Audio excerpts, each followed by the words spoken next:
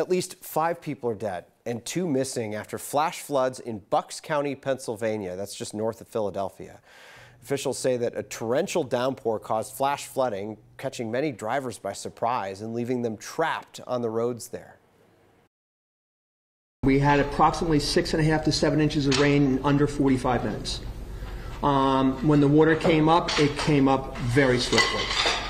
We do not think that anybody drove into it, that they were actively on that road when it happened. Officials say they rescued 10 people from their cars. Four adults died in that flooding.